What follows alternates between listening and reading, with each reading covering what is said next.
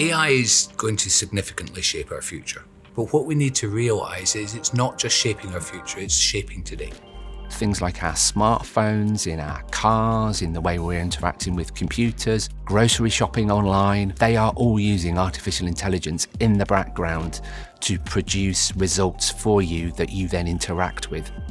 I think AI is going to shape our future in a really positive way in a couple of main areas. The first is productivity, by giving us the tools to do our jobs, answering some of the problems we've been grappling with for years, whether that be climate change or cancer detection.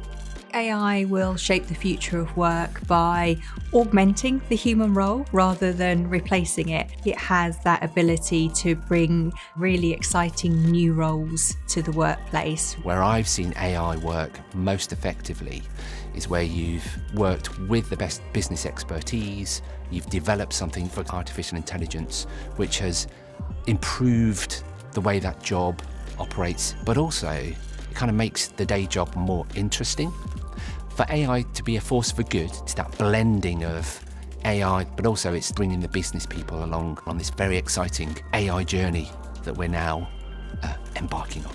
AI can be a source for good in society because AI is really a tool. It has incredible problem solving ability by being able to process copious amounts of data that can be stratified. You can look for patterns. And from that standpoint, we're able to move and accelerate innovation at a much higher speed.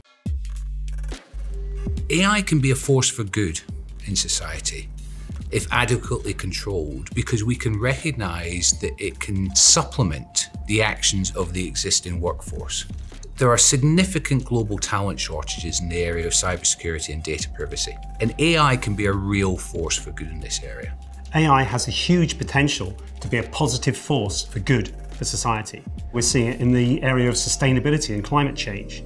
The ability to support us in reducing emissions from transport, from agriculture, from industry, alongside predicting extreme weather events and helping build resilience. One of the ways that AI can be a force for good for society is by unlocking more of our human traits, particularly empathy AI can't provide empathy, and as a result, it is the skills that humans bring that will create a more empathetic society.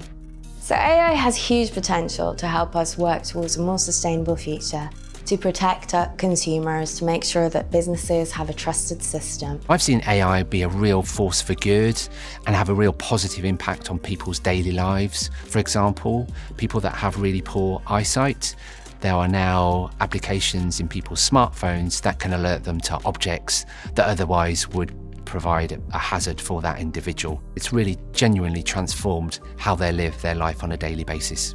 In order for AI to reach its full potential, we need trust at a societal level.